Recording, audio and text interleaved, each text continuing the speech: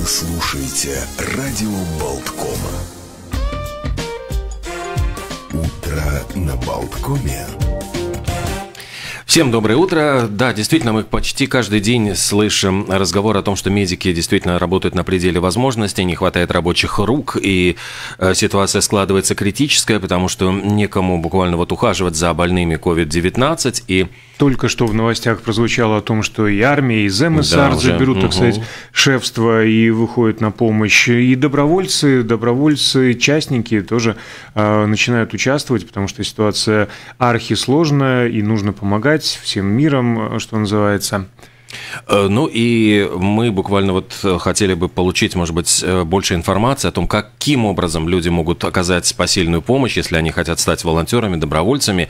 И буквально вот на днях Ассоциация, Латвийская ассоциация самаритян и Клиническая университетская больница имени Павла Страдания заключили договор о привлечении волонтеров. Вот, наверное, подробнее обо всем об этом мы расспросим директора Латвийского общества самаритян Андреса Берзенча, который с нами на прямой связи. Здравствуйте, доброе утро, господин Владимир Борисович. Доброе утро. Доброе, Доброе утро. утро. А, ну да, давайте сразу к главному. Ну, во-первых, что побудило общество самаритян, а, я так понимаю, это была ваша инициатива. И в чем заключается ваша помощь, э, будет заключаться помощь э, членов вашей организации э, больницы? Да.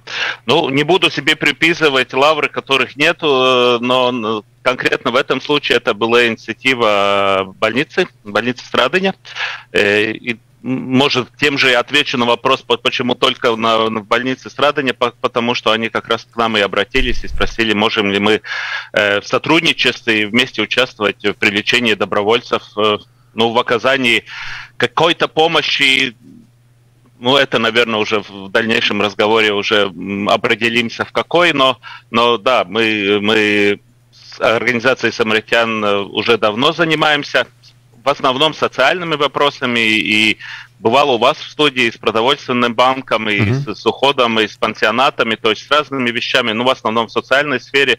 Но добровольцы – неотъемлемая часть нашей организации. У нас э, в прошлом году более 50 волонтеров участвовали в разных э, видах деятельности, один больше, другой меньше. Это всегда часть, неотъемлемая часть э, э негосударственных организаций, и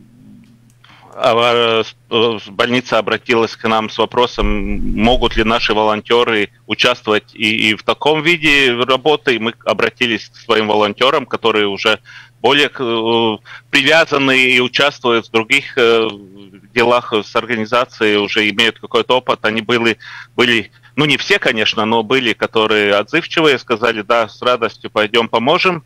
Ну и как раз сейчас, сейчас э, составляются списки, подготавливаются группы на обучение, и, наверное, уже в ближайшем времени они э, будут помогать и найдут себя э, в больнице. Ну, конечно же, сразу возникает вопрос, сколько человек отозвалось, а чем именно придется им заниматься. Вы упомянули обучение, наверняка оно займет какое-то время, а время уходит, а помощь угу. нужна уже сейчас. Да. Но мы буквально вчера э, пришли на позавчера вечер. В вступают люди, которые хотят помогать и помогают э, повседневно